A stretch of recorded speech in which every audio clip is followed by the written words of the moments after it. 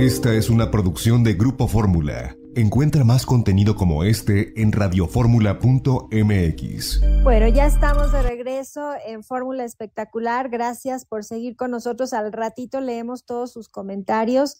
Y vamos contigo, Gabo. Cuéntanos tú qué hiciste el fin de semana. ¿Dónde andabas?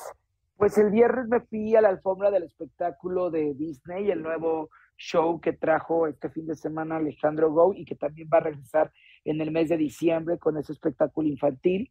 Eh, fíjense que me llamó mucho la atención porque la persona que llegó a este evento, que digamos que fue la que salvó la alfombra, fue Giovanni Medina y su pequeño Manuel, quien el viernes eh, eh, un grupo de reporteros le compraron una, una, pues una gelatina de Jack, de este personaje, y le cantaron las mañanitas porque su cumple el día sábado.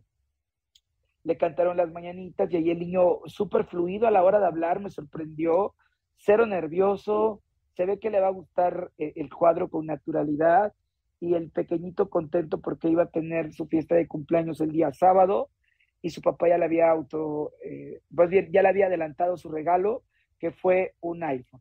Entonces ahí vimos a Giovanni muy contento, agradeciendo que la prensa haya cuidado a su, a su niño con este detalle.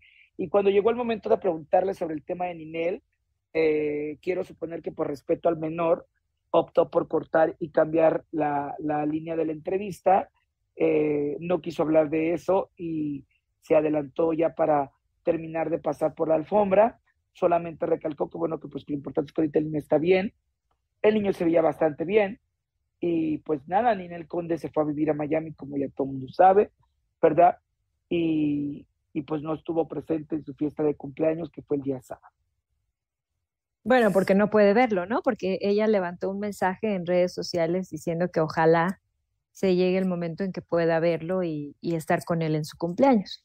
Pero, a ver. Es diferente, es diferente decir, supone, no, quiso estar. Se supone que Ninel puede ver a su hijo. Ah, pero él dice eso, pero a la hora de la hora no lo permite. O sea, se supone que ella si, que si quisiera la fiesta puede ir a la fiesta, ¿eh? no creo que sea tan fácil, ¿eh? No, pues yo creo que si ella pudiera ir a la fiesta, lo habría hecho, ¿eh? Sí, claro, pues si no lo ve, Gabo, no lo ve para nada. Pero ya, eh, a mí es un tema que ya me agotó, honestamente. Creo que dices bien, Gabriel, y yo lo decía esta mañana, Emanuel se ve un niño feliz, se ve que quiere mucho a su papá y que su papá lo quiere mucho a él. O sea, eso no, pues yo no lo, voy a poner en tela de juicio. Ajá porque además se nota, ¿no? O sea, se nota que el niño es un niño feliz, que está contento, que fue con su papá, que el papá lo quiere un montón. Esa, esa parte me parece que es la parte segura de Manuel y Giovanni. Sí. Pero la parte de, de hacer a un lado a Ninel es algo que a mí me va a seguir haciendo mucho ruido para siempre, ¿no? Porque al final, pues también tengo hijos chicos y también sé que que los niños necesitan a mamá y a papá, sobre todo cuando mamá quiere estar, ¿no? Y, no puede estar, según el mensaje de Ninel, ¿eh? el mensaje que publicó el día del cumpleaños de Emanuel, no según lo que creemos, sino lo que ella publicó.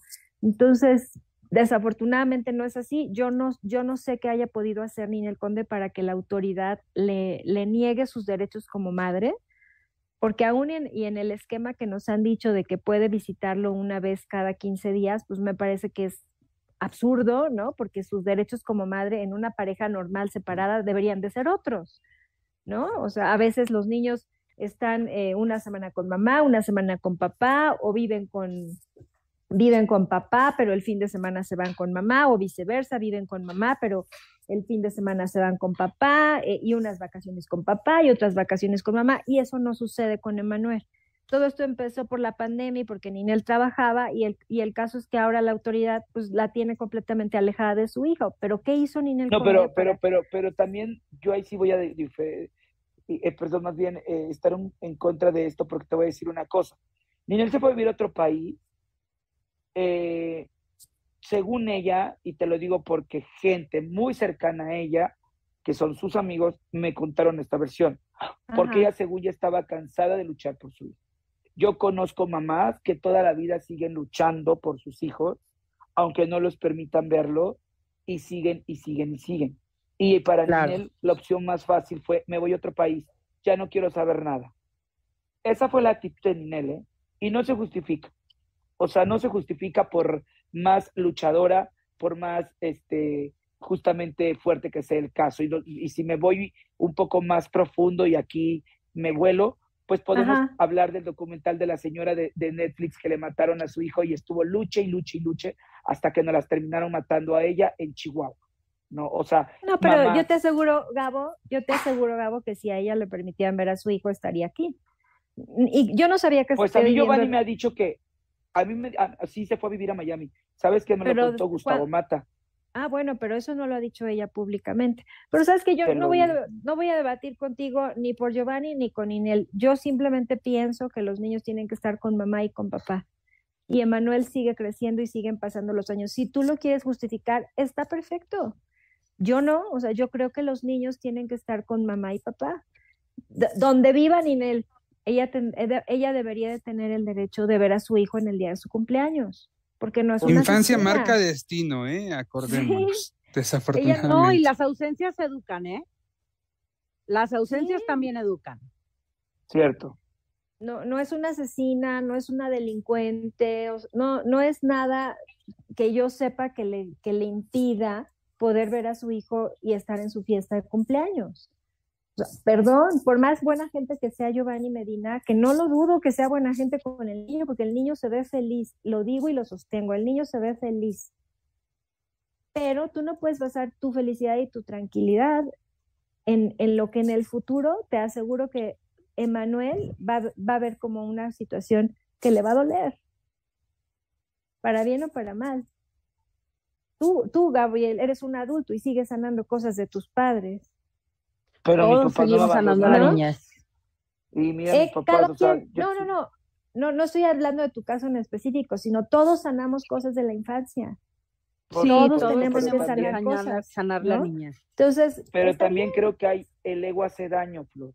Y, y yo creo que Ninel, eh, ella tiene un ego muy grande. ¿A ti te parece bien? ¿A ti te parece bien que eh, Manuel no vea a, su mamá? Entonces, partamos de ahí. Ese es el único punto que yo te digo. A mí no me parece bien que una mamá deje de luchar por su hijo. Eso no me parece bien. Pero es que estás volteando las cosas. ¿A ti te parece bien? A Julián ¿A ti te parece bien? Lo luchamos cuando dejó de, ir a, las visitas por su menor. Lo crucificamos y dijimos que estaba mal. Claro que sí, jefa. Claro que sí lo criticamos muy feo de que porque ella no iba a ver al pequeño a la casa aquí en reforma. Y Pero le seguimos defendiendo su derecho a ver al niño, Gabo. Por supuesto que está mal, por supuesto que está mal dejar de luchar, pero no por eso pierde su derecho de ver a su hijo. Lo que pasa es que ha, sido tan desgastante para los dos, tanto para Ninel como para Julián Gil, que se van. Tal vez yo no lo haría, o Analu no lo haría, tal vez yo seguiría aquí luchando, ¿no? O sea, yo, aquí estaría. Yo me peleé hasta donde pude por mis hijos. Sí. Pero también la gente se cansa de pelear, ¿no? Y y bueno, pues así va a crecer Emanuel y, y, si eso le hace feliz a Giovanni y si Ninel ya lo aceptó, pues es, es, es, una situación que ellos tendrán que resolver en el futuro, pero infancia con el destino. Sí, todos sanamos cosas de la infancia. Entonces, Emanuel tenía cinco años cuando esto comenzó, ¿se acuerdan? era era bien chiquitito, era bien chiquitito, apenas si se daba cuenta ya es un jovencito. Necesitaba de la nana todavía, ¿te recordarás? Pero ahorita ya es un jovencito de ocho años, es un jovencito ya, más Lo mismo le pasó a Roberto Palazuelos, que lo separaron de su mamá y cuando se reencontró con ella no tuvo nada en común con ella. Eh, o sea, también es una historia muy triste, la verdad. El tema le lastima muchísimo a Roberto, eh, no le gusta hablar del tema. No, y cuando lo ha tocado te dice que no coincidió con su mamá, pues cómo iba a coincidir si pasaron tantos años y, y pues todas las heridas que tuvieron, ¿no? y, cómo y cómo creces del, o sea, acuérdate que la historia siempre lo la, la cuenta la, quien gana. Esos te cuentan la historia oficial. Entonces, en el caso de Roberto Palazuelos, ¿quién le contaba la historia a Roberto? Pues su papá. Claro. Entonces, a la larga, ¿con quién no pudo resarcir ese vínculo con su mamá? Y, es muy difícil crecer sin mamá. Ahora, yo le admiro mucho que esté divorciado y se lleve muy bien con la esposa, con su ex esposa y diga que es su familia. O sea, decidió ser un buen ex esposo, no repitió la historia. te das cuenta que hay algo por ahí que sí sanó. Sí, pero pues son historias que hemos visto en el medio del espectáculo y que existen en la vida real todo el tiempo. Los juzgados están llenos, por desgracia. No, y, de asuntos sin resolver o de tráfico de influencias o no, a mí me, ya me agotan, me agotan estos temas porque me duele. Se me haría tan fácil que ejerciendo la bondad de cada uno de los de los de los papás pudieran llegar a un acuerdo que me parece ilógico. Haciendo a un lado los egos. Sí, o sea, simplemente haz a un lado tu ego. Si quieres venir, el bien, si no quieres venir, no, pero las puertas de mi casa están abiertas y convive con tu hijo porque tu hijo te necesita, ¿no? Y mm. ya que, que, dependa de ella, ¿no? Que dependa de ella, no, no de una cerrazón de no la vas a ver legalmente y demás. Pues, no, no lo entiendo. Vamos a la pausa, regresamos. Bueno, ya estamos de regreso en Fórmula Espectacular. ¿Y qué me dicen de Anel y José Joel también? Ayer domingo eh, llegaron a la inauguración de una exposición fotográfica en honor justamente al príncipe de la canción, a José José, y en pleno evento, pues José Joel eh, seguía tratando de cubrir las apariencias, diciendo que Marisol no estaba por sus tradicionales asuntos familiares que le impedían llegar y Anel pues se decide por otro lado y en otro chacaleo a decir que no era justo que, que Marisol les estuviera haciendo esto, que ya lo habíamos comentado aquí, ¿se acuerdan? Pero eh, porque Anel, Anel le dijo a, a Shanique que no podía ver a sus nietos, lo subieron a redes sociales y aquí habíamos comentado que no se podía tapar el sol con un dedo. Finalmente Anel ya reconoció frente a los reporteros que sí hay un problema con su hija. ¿Qué me dices, Gabo? Bueno, no tengo a Gabo, no lo tengo. Pero bueno, eh, o sea, había contradicciones en el mismo evento entre mamá e hijo, Joel. Sí, José Joel trataba de suavizar las cosas. Anel estaba muy alterada en un principio. Ella, de hecho, así a grito, tal cual, a grito dijo, a ver, es que si no se ponen acá, no voy a decirles nada, eh, este, quiero que me tomen completa, no me acerquen los micrófonos, no me griten si los escucho. Estaba muy alterada. Eh, los primeros dos minutos, ¿no? Y luego, de pronto, los reportó le dicen, a ver, señora, es que pues, nos invitaban a cubrir el evento y queremos hablar con usted del evento, ¿no? Entonces, ¿para qué nos invita? Entonces ya como que a partir de ahí, Anel se puso en otro mood y ya empezó a, a, a responder las preguntas. Dijo, primero dijo que para empezar, ese será el evento de una serie de cosas que, que vengan para compartir con los medios material inédito de José José. Eso para empezar, ¿no? Luego contó algunas anécdotas y finalmente llegó al tema de por qué no estaba Marisol en, en esta expo, eh, de que si le dolía la ausencia. Y Anel decía, es que no es justo que me hagan esto, ¿no? Refiriéndose a Marisol. No me lo merezco. Mm, se le preguntó el motivo real del distanciamiento. Anel dijo, ya ni me acuerdo, no me acuerdo. Em, dijo también que tanto José Joel como ella invitan a Marisol a, cada evento que hacen, esperando, y cito a Anel, eh, que dejen a un lado sus egos, ¿sí? Porque yo la estoy esperando con los brazos abiertos. Eso fue lo, lo que declaró Anel. También se le preguntó concretamente eh, qué tan cierto era eh, este trascendido de que pues José Joel y ella estaban dejando a Marisol fuera de la herencia del príncipe de la canción. Ella dijo que esas eran estupideces, ¿sí? Que eso no es así. Y este, y pues bueno, dijo que ella no fue una mala madre, pero que en caso de que lo hubiera sido, aún así no se merece este momento que está atravesando este distanciamiento por parte de su hija y que prefiere pensar que su hija eh, y la familia de Marisol están de viaje y que, y que pronto van a regresar. Pero es que quién la entiende entonces, porque hace ocho días a mí hasta me dijo que caía gordo y caía mal por preguntarle ese tipo de cosas y luego dijo que su hija no estaba distanciada y ahora eh, ocho días después dice otra cosa. Yo siento que la edad de la señora ya le está afectando un poco sus neuronas en el cerebro porque hay una edad en la que el cerebro empieza. No tiene nada que ver con la edad, Gabo. Me, parece que probablemente en aquel momento que le preguntaste, Gabo, permíteme, Gabo, permíteme.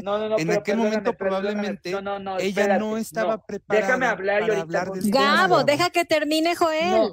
ella es que yo estaba hablando. Yo estaba hablando primero. Gabo, deja que termine Joel, por favor. Deja que termine. Tiene derecho a hablar cuando quiera. No es una cuestión de edad de las neuronas, no, no. Es un tema que claramente le duele porque es la madre y está distanciada. No sabemos. Eh, eh, yo intuyo que es un motivo muy doloroso para Anel porque así lo está, así lo, lo, lo está dejando mostrar, ¿no? Pero evidentemente no va a estar preparada en todo momento. A lo mejor en una semana la volvemos a abordar y nos dice, no voy a hablar del tema porque no quiero. Ayer a ver, yo creo que hablar está por otro lado. Yo no estaba hablando si le duele o no le duele. Yo no hablo del sentimiento, yo hablo del raciocinio, del pensamiento. El cerebro, conforme van pasando los años, por supuesto que vamos teniendo eh, complicaciones para pensar. No, tu cerebro no funciona igual a los 30 como a los 80 o a los 70.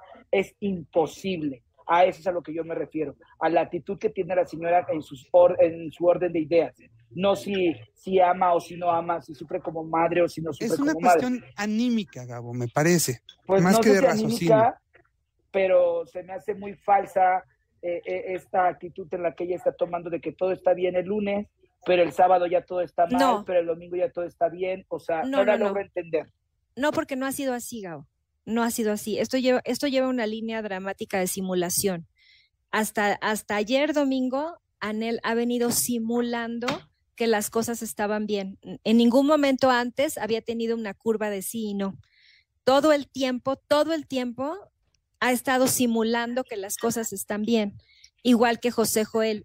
Sin embargo, ayer, por primera vez, públicamente, decide aceptar que tienen un problema. Tú estarías en lo correcto si ella tuviera una curva de sí y no en los últimos meses. No ha sido así.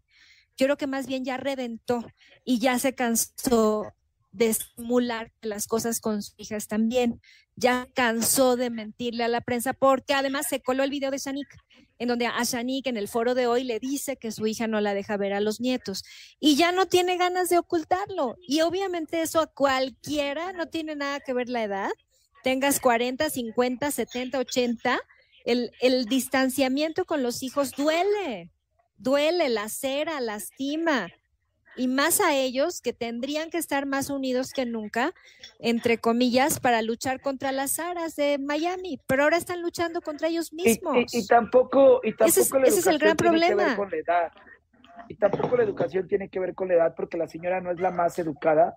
Eh, o sea, eso de que te aviente los micrófonos, y que te diga no quiero hablar, porque vi la nota que hizo mi compañero René Gómez, en donde explotó cuando le preguntaron si era verdad que quería desalojar de la herencia a Marisol y con esa actitud eh, este, justamente mm. eh, finalizó.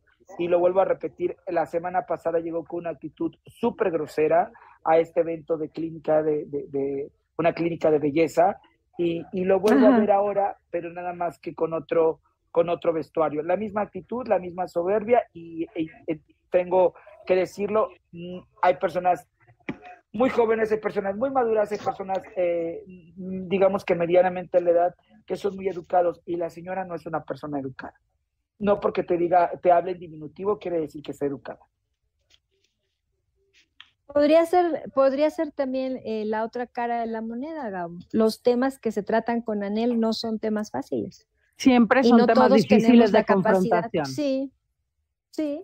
Y pues no todos somos, le voy a preguntar? tú, tú no eres en Gabo. Tú, tú estás comentando un tema y estás iracundo. Imagínate ella con toda la cantidad de temas difíciles que le preguntan, pues es igual de iracunda. O sea, hay gente que es más iracunda que otra y hay gente que es, es muy tranquila. Tú pregúntale a Carla Estrada sobre, lo, pregúntale a Maribel Guardia. A Eric del Castillo, ¿no? Por ejemplo. Ajá, y te, y te van a, a pesar de los temas difíciles, te van a contestar con mucha tranquilidad y con mucha educación. No, no, no, no, nos pasa con Anel, no nos pasa con Alfredo Adame, no nos pasa con Miurka. ¿Por qué? Porque tienen temperamentos diferentes. Eso es todo, son temperamentos. Y los temas que manejamos con estos personajes que les acabo de mencionar, pues son temas muy complicados. Imagínate, bien los reporteros, bien René, bien todos los que estuvieron ayer, que le, oye, y es cierto que hay un problema con la herencia, había que preguntárselo pero que a ti como madre te digan que le quieres robar el dinero de una herencia a tu hija, Es pues sí te pone loca. Claro, sí, te, sí se puso loca porque la pregunta es como para ponerte loca, ¿no? Yo no digo que esté bien. Anel, ¿eh? simplemente entiendo en su contexto, no saquemos las cosas de contexto, ¿no? Entiendo en su contexto por qué reacciona de esa manera. Los reporteros Y, están y bien, aplauda a los están reporteros. eh, Por cierto, preguntando. que, sí, que de una enojada Anel que empieza la entrevista, le dan la vuelta y la, la llevan al grado de confesar que efectivamente hay un distanciamiento muy fuerte. Digo, y tampoco nos engañemos, ¿no? Uno como reportero sabe cuando estás en el campo que tienes la nota. O sea, ya el hecho de que, de que ella llegue en esa actitud, sabes que va a haber nota. Sí, por supuesto. Claro. El hecho de que se, se porte mal con los medios es nota. Y aún así, eh, los reporteros le dieron la vuelta a la situación. Eh, mismo pero- caso con, un mismo, mismo caso con Giovanni y Emanuel. O sea, los reporteros se portaron muy bien porque había un niñito ahí, inocente, bello, y no, no le siguieron a, ni- a Giovanni preguntando cosas que no se debían delante de un niño. Pero eso no significa que la gente tenga que ser siempre educada. Pues hay temas muy difíciles, Gabo. Pues sí, jefa, pero si no te gusta el calor, ¿para qué te metes a la cocina? La señora en los últimos años de su vida no ha hablado de otra cosa nada más que de José José. Pero ¿quién te dice? ¿Quién te dice que no le gusta el calor? Pero claro que le gusta a él el calor. Pues que aguante las preguntas. Pues Entonces, las aguantó. Las pues, aguantó. pero de, de- de- con caras y con gestos y huyendo y pidiendo que le alejen el micrófono y que ya no le pregunten de esto y que ya no le pregunten el otro. O sea, Pero dio nota o no dio nota. pues la ¿Dio payasada nota o siempre no da dio nota. nota? Ah, bueno, pues no, no nada más payasada. Hizo declaraciones importantes. Reconoció que no está bien con la hija. Ahora, Marisol, yo, yo lo que no les entiendo a ninguno de los tres es que los tres se dicen cristianos, ¿no? Cristino. Y se dice, Cristino. ajá, se dice en una familia de fe. No, no puedo entender cómo pueden estar separados públicamente y no poder arreglar sus diferencias después de todo lo vivido. Eso no lo entiendo. Vamos a la pausa, estamos de vuelta. Estamos de regreso en Fórmula Espectacular. Es lunes, es inicio de semana y tenemos nuestro regalo del lunes. Hay cinco muñecos de peluche del Dr. Simi en su edición Ah. navideña que ha sido un éxito rotundo, un Sí. éxito absoluto. Lo que máximo. llamen Me muero por dar un mismo. concierto y que me avienten muñecos del doctor Simi. Ah, es bueno, pues entonces nuestro público que va a llamar en este momento, eh, que le avienten uno a Analu. Los teléfonos, Joel, por favor. Con mucho gusto, por favor llamen a la multilínea, es el 55 51 66 34 05. Repetimos, 55 51 66 34 05. Llegó la hora feliz a Fórmula Espectacular con los muñecos del Dr. Simi en su edición navideña. Flor. Tenemos cinco, así que apresúrense, apresúrense porque se acaban rápido y llamen a la multilínea. Démosle la bienvenida a nuestro invitado esta tarde. ¿Cómo estás, Israel Haitovich? ¿Cómo están? Buenas tardes, saludo a todos, a todos los que están ahí y a todos. Bienvenido. nos- ¿Cómo va Yo no sé si quieras tu muñeco, ¿tú Hola. quieres tu muñeco del doctor Simi para que te lo aventemos también cuando des un show. Órale, bien, échenlo. Lo bueno es que no hago show. Oye, pero sí tienes entre manos un súper evento, ¿nos quieres contar? Sí, claro. Fíjate que pues estamos de manteles largos, como dicen por ahí, porque estamos celebrando 15 años de forma consecutiva ininterrumpida al aire con mi late night show, con mi programa Más Noche antes desmadrugado. Estamos cumpliendo 15 años y lo vamos a hacer pues con una fiesta a lo grande. ¿Cómo lo vas a celebrar, Israel? Cuéntale al público. Pues mira, como han sido 15 años de lucha, porque eso es lo que ha sido para podernos mantener en el gusto de la gente y de los invitados para que nos acompañen al programa, lo vamos a hacer en la Arena México, que es la capital de la lucha libre, porque han sido 15 años de lucha. Claro que es la Arena México, no la Arena Ciudad de México, que son diferentes. Esta es la que está en la colonia Doctores, ahí atrás de Televisa. Chapultepec. Ahí vamos a hacer un evento, pues muy grande, la verdad, porque tenemos pues va a haber de todo. Vamos a tener 10 invitados musicales que hasta se me olvidan. Va a estar la Sonora Santanera, va a estar Caló cantando con la Orquesta Pérez Prado, va a estar este, Río Roma, eh, Horacio Palencia, este, Cañaveral, eh, Sandra Echeverría. Eh, es, que el Rayito Colombiano, pues es un súper reparto que nos va a acompañar esa noche para celebrar este 15 aniversario ininterrumpido al aire por las estrellas y por Distrito Comedia. Eh, y va a haber lucha libre también al principio, vamos a tener alfombra roja, eh, en fin, eh, y va a ser una super fiesta. La entrada es gratis, pero pues obviamente tenemos un cupo limitados con boleto. Los boletos los vamos a estar dando en una que vamos a tener ahí sobre el Río de la Loza el día del evento. El día del evento la gente puede llegar, bueno, pues los que lleguen primero tendrán su boleto y podrán acompañarnos a festejar estos 15 años ininterrumpidos al aire. Y los que no, pues grabaremos desde ahí dos programas especiales que se transmitirán posteriormente por Distrito Comedia y las Estrellas. Ahora, lo dices bien, 15 años al aire no es nada fácil, Israel. ¿Qué has hecho y cuál ha sido esa lucha? Porque los programas ya no duran tanto al aire. No, ya no, pues déjame decirte que después de hoy, en Las Estrellas en Activo, Más Noches, el programa más longevo que existe en el Canal 2, en Las Estrellas, que existe al aire. Obviamente, Chabelo, ya hay programas que han durado muchos más años, pero en Activo somos el, somos el programa más longevo de, Las Estrellas que existe actualmente, ¿no? Eh, pues mira, ha sido...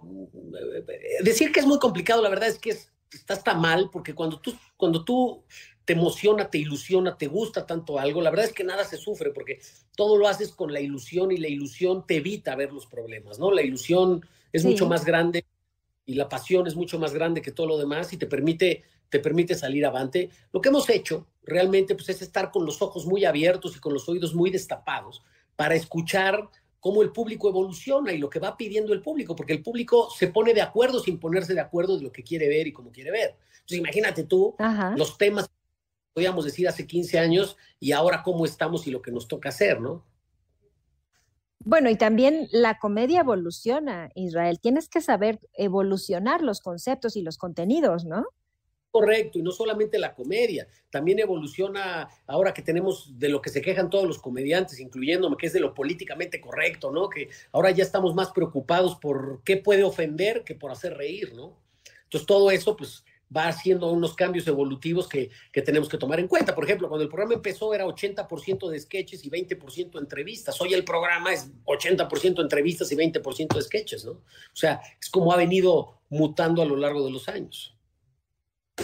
Y también yo creo que gran parte del gremio artístico hemos estado alguna vez en tus programas, ¿no? O sea, todos alguna vez hemos escrito una página en la historia de tu programa. Perfecto, todos somos parte de estos 15 años, así es que no te puedes escapar de ir el, jueves, ¿eh? no, no. va a soportar. Pero eso te ha llegado muchos afectos, ¿no? Entonces, ahora, a la hora de celebrar, pues todos tienen una historia contigo.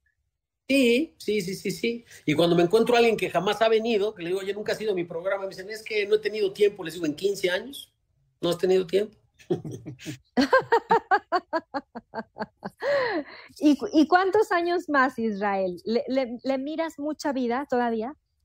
Yo creo que esto es como Alcohólicos Anónimos, solo por hoy, ¿no? O sea, nosotros al día de hoy tratamos de siempre, cada semana, hacer el mejor programa posible. Y pues esa fórmula ha dado que volteó para atrás y han pasado 15 años, ¿no? Por supuesto, dentro de la evolución, pues hay cosas que hoy disfruto más. Hoy disfruto más hacer una entrevista que hacer un personaje, ¿no? O sea, ahorita, por ejemplo, los personajes del Padre Ramón, entonces, ya no los hago, porque pues ya también tengo 52 años, ya no sé, ¿no? No, sé, ya como que mis intenciones, mi, mi, mi, mi, gusto ya es otro, y también el cómo capitalizar mi, paso por la industria y, mi aprendizaje y mi experiencia, pues también es otro completamente diferente. Entonces, trato de que mi propia evolución vaya pegada a la evolución del gusto del público, ¿no? Pero decir cuántos años más, híjole, no tengo la menor idea. Ojalá sean 16 por lo menos, ¿no? Mi querido Jaitovich, buena tarde, te saluda, te saluda Joelo Farrilli. Quería preguntarte cómo te preparas para tus entrevistas, porque eh, pues son buenas entrevistas. Ahora sí que no es por darte el cebollazo aquí, pero me gustan eh, tus entrevistas, algunas son muy divertidas, pero siempre logras sacarle a tu invitado algo que no sabíamos como público. ¿Cómo lo, lo vas preparando? Fíjate que por ahí, vuelvo a lo mismo, 15 años es una maravilla, no nada más en el sentido de tener trabajo, ¿no? Y tener eh, un pan que llevar a la casa, sino también en el sentido de la oportunidad de experimentar tantas cosas y, prueba y error y mejorar esto y lo otro no y nunca quedarte quieto, no hay que quedarse quieto. Esa es la, la clave es no quedarte quieto, hay que estarse moviendo. Y en el caso de las entrevistas, tú no tienes idea todo lo que hemos probado. Hemos probado desde que mis escritores de comedia se metan al internet a buscar cosas de los invitados para hacer los tópicos de las entrevistas. Hasta hemos contratado gente como ustedes de espectáculos para que nos ayuden a elaborar los cuestionarios de las, entrevistas. Hemos preentrevistado al invitado, no lo hemos preentrevistado, hemos probado absolutamente todo lo que te puedas imaginar para el tema de las entrevistas. Y lo que hemos venido haciendo son híbridos, híbridos que son los que funcionan, ¿no? Y bueno, obviamente, pues, yo, yo, creo que mi arma secreta es mi equipo de escritores, esa es mi arma secreta. Tengo un equipo de escritores que admiro muchísimo, que todos ellos son estrellas, que todos ellos son los que han hecho los grandes éxitos de comedia de la televisión de humor hoy en día y desde los peluches para acá.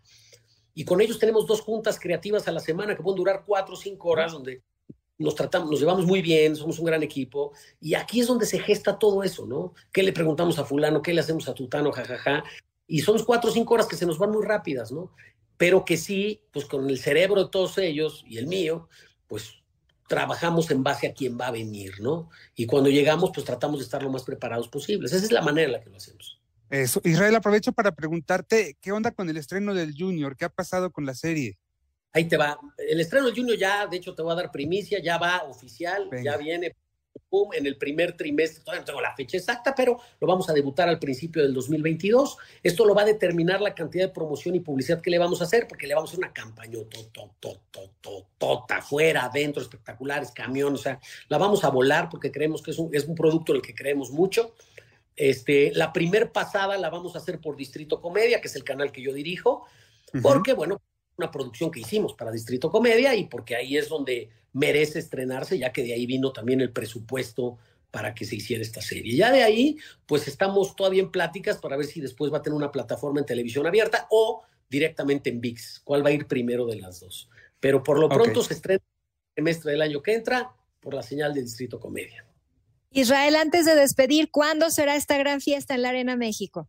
Claro que sí, qué buen punto. Eso este jueves, hoy es lunes, el jueves 27. El jueves de esta semana, que es jueves 27 de octubre, nos vemos a partir de las 7 de la tarde en la Arena México. Eh, busquen sus boletos ahí por Doctor Lucio, ahí va a haber una taquilla donde se les van a dar los boletos. Es entrada limitada, mayores de edad, por supuesto. Este, y ahí, pues hasta que el cuerpo aguante, le vamos a pegar. Muy bien, entonces todavía el público que nos está escuchando puede tener acceso si es que consigue los boletos, ¿no? En tus redes sociales me imagino que irás dando más, más detalles. Pues no hay más detalles, que lleguen ahí a la taquilla y eh, vámonos para adentro. Muy bien, pues te felicito Israel, te abrazamos, felicidades por estos 15 años de trabajo, que vengan muchos más de éxito y de buenos programas. Muchísimas gracias, les mando un beso a todos por ahí y también al público. Gracias, Israel Kaitovich, con nosotros, que este jueves festeja 15 años de su programa. Vámonos a la pausa, regresamos en un instante, no se vaya. Último bloque, recta final, ni de chiste vamos a terminar con todos los pendientes, así que vámonos rápido. Ayer fue noche de realities, en Masterchef le tocó salir a Margarita, la diosa de la cumbia, que me parece que tuvo una participación extraordinaria, la conocimos llorona, enojona, encantadora, dulce, tierna, trabajadora y siempre se gana con este tipo de realities porque te muestras tal y como eres. Eso en TV Azteca y en Televisa, Mario, ¿a quién le tocó salir? Pues en Televisa ahora le tocó, bueno, la, máscara fue, oh, sorpresa, fue Adrián Uribe y de ahí pasó al panel, estuvo como invitado con, con los cuatro, este, que son los que tienen que andar descubriendo quién es eh, la máscara y, el, y en el siguiente bloque, pues el, que fue expulsado fue Pijuin. No veíamos nada de él. Que por cierto, mañana vamos a tener a Piwi invitado aquí en el programa para hablar justamente de su experiencia en la máscara, así que ya mañana lo hablaremos más ampliamente aquí en el programa. Los Tigres del Norte también fueron noticia este fin de semana, Joel. Sí, desafortunadamente falleció la mamá de don Jorge, de Hernán, de Luis Hernández, ¿verdad? Básicamente, pues de casi todos los Tigres del Norte. Eh, ella murió la madrugada del domingo en Mexicali, que es la ciudad donde radica desde hace más de 50 años. Ellos son de Sinaloa, pero cuando los Hernández eran muy chiquitos, eh, emigraron hacia Mexicali y bueno, pues ahí empezaron a construir ya como tal el concepto de Tigres del Norte. Em, y es muy curioso, fíjate que la agrupación ofrecía un concierto en Querétaro y de pronto estaban cantando La Ley del Monte en esta parte del homenaje que están haciendo a Vicente Fernández de pronto hacen una pausa y Jorge Hernández anuncia que su mamá acababa de fallecer. Luego, eh, minutos más tarde, eh, volvieron a tomar el micrófono para decir que aún su mamá respiraba, que había una esperanza y que por favor siguieran orando, aún en casa. Eh, terminó el concierto, volaron ellos en su jet privado hacia Mexicali y justamente, Flor, en el momento, en el transcurso de Querétaro a Mexicali, muere la señora Consuelo y pues desafortunadamente los hermanos Hernández ya no alcanzan a despedirse de su mamá. Ay, pobres, pobres. Eso marca muchísimo a la gente. Bueno, y a quién se le ocurrió informarles en pleno concierto también, qué duro, ¿no? Decirles mientras ellos estaban trabajando, a menos que ellos lo hayan eh, pedido. yo creo que es una instrucción de ellos, sí. Seguramente sabían que estaba ya muy grave y querían tener la información, ¿no? Sí, sí, me imagino que va por ahí. Eh, recuerdo que también cuando muere su papá hace tiempo, les avisan antes de subir al escenario, así, prácticamente cuando estaban en la escalera para subir al escenario, les dicen y bueno, pues ellos este, eh, optan en aquel momento por cantar, por subir al escenario y ofrecer la actuación, porque su papá les había dicho que primero el público y luego todo lo demás. Claro.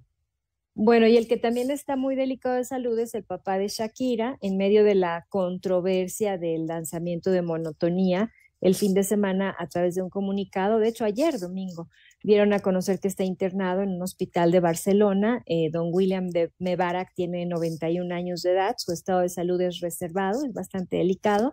No han dado detalles de qué es lo que le ocurre, pero sí eh, Shakira pidió respeto a su privacidad, me imagino, porque es complicado este momento de salud que están viviendo como familia, Ana Lu.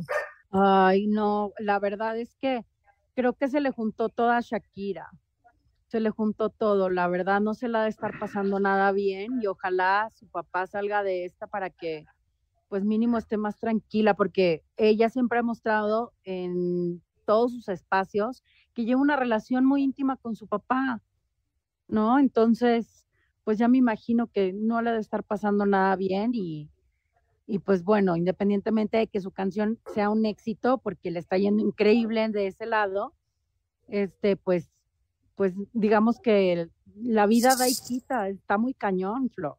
Claro, que por cierto, hablando de monotonía, eh, comienza a crecer una controversia porque un tema de Maluma inicia exactamente igual que el de Shakira y Osuna, el de no, fue culpa tuya, no fue culpa mía. Igual esa frase de no fue culpa tuya, no fue culpa mía, así como está, está iniciando también otra canción de Maluma. Entonces es probable que este problema crezca justamente porque puede haber por ahí un plagio y no es la primera vez que Shakira estaría involucrada en un problema de plagio, Joel. No, porque lo mismo ocurrió, me parece que con la canción La Tortura, ¿sí? Eh, que bueno, eh, la introducción era prácticamente igual a una canción salsa de Jerry Rivera, si la memoria no me falla. Sí, efectivamente. Entonces, bueno, hay, hay que esperar a ver en qué acaba todo esto, pero por lo pronto escuchas los temas y te das cuenta de que empiezan exactamente igual. Y hablando de canciones, también Edwin Cass lanzó una canción este, este fin de semana eh, justamente para responderle a todos los medios que lo han criticado por sus adicciones y por sus borracheras y demás, publicó una foto con el Canelo en donde escribió, para la otra córreme bien, que aquí seguimos tomando, eh, esto que de alguna manera tiraría por tierra el hecho de que Canelo hubiera estado enojado con Edwin y lo hubiera corrido, ¿no? De la fiesta. El tema que lanzaron se llama A mi modo y pues está generando también mucha controversia, Analu. Pues bueno, este, a mí me parece que, que Edwin Cass pues tampoco, eh, tampoco está cuidando su imagen como debe, ¿no? Porque tiene muchísimos seguidores y creo que pues los artistas ahora tienen también una responsabilidad social, Flor, pero bueno, pues cada quien, ¿no? Totalmente. Bonavides, Por cierto, eh, bueno, sí, eh, Carlos Bonavides, fíjate que eh, pues tienen que operarlo esta semana de la próstata. Él tiene ahorita colocada una sonda, sí, em, para poder orinar, pero em, pues nada, dice que tiene compromisos de trabajo y que probablemente tenga que aplazar eh, la operación a la próxima semana. Hoy, justamente iba a la ANDA para ver si administrativamente le pueden arreglar ese asunto. Pues dice que han sido eh, días un tanto molestos por este tema de la sonda, que la colocación fue muy dolorosa, que incluso lloró ¿no? cuando, cuando se la colocaron, pero sí está buscando eh, pues poder aplazar la operación mínimo una semana porque dice que tiene ya compromisos de trabajo y que no quiere faltar. De hecho, para el compromiso del sábado próximo, ya le dio en su adelanto y pues ahora tiene que cumplir, ¿verdad? ¿Pero qué es lo que tiene, Joelito? Eh, tiene tiene eh, un mal en la, en la próstata. No sé exactamente qué es lo que sea, si sea eh, alguna piedra, bueno, no una piedra, ¿verdad? no, no hay piedras en la próstata, pero tiene algo, no sé, no sé realmente qué tenga, pero, pero sí hay que, hay que operarlo y bueno, pues eh, no quiere, al menos no esta semana. Bueno, pues ahí está. Y también la que reapareció es Alejandra Guzmán en el palenque de ah, Pachuca Hidalgo.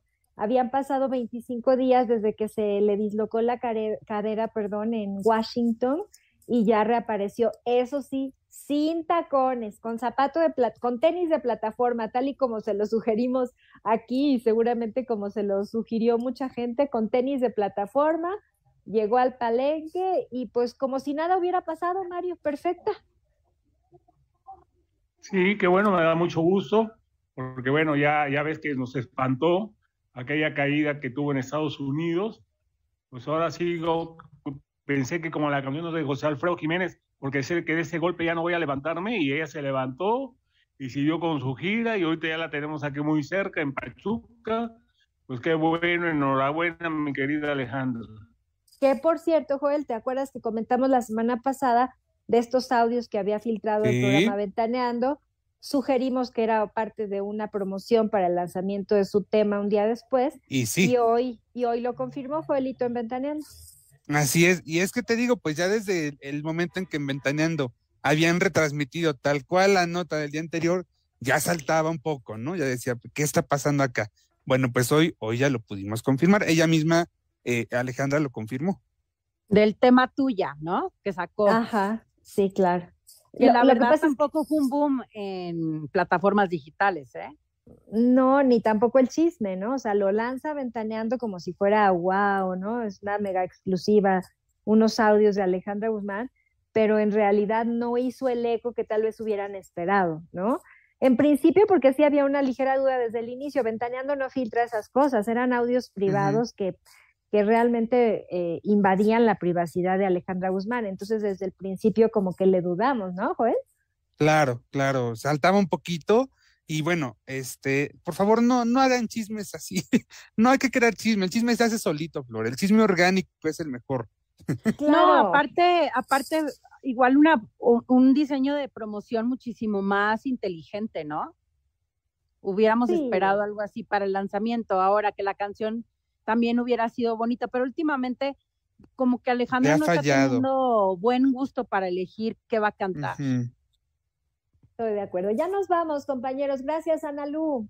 Gracias, querida Flor. Y disculpen al público si anduve equivocada en los inicios del programa, pero aquí estoy, al pie del cañón. No, hombre, si todos, si todos nos equivocamos, ya mero que fuéramos perfectos, ¿no? Gracias, gracias, querida Analú. Que tengas una gran semana de, de post cumpleaños. Mario. Muchas gracias. Gracias, Mario. Nos vemos. Soy una felicitación a, Antonio Camacho Gil hasta Alvarado, Veracruz. Él era el empresario consentido de Juan Gabriel y lo es de, también de Rubén Lara. es un gran promotor artístico, a Toñito Camacho Gil, que nos oye hasta Alvarado, Veracruz. Un abrazo para él, Mario. Nos vemos el jueves, Joel. Buena tarde a todos, hasta mañana. Gracias al ingeniero que está en los controles de Grupo Fórmula por su ayuda para la producción de este programa. Gracias a ustedes por habernos acompañado. Se quedan con Verónica Martínez en la señal de Grupo Fórmula. Nosotros regresamos mañana de 3 a 5 de la tarde completamente en vivo. Que tengan un lunes espectacular. Gracias. Esta fue una producción de Grupo Fórmula. Encuentra más contenido como este en radioformula.mx.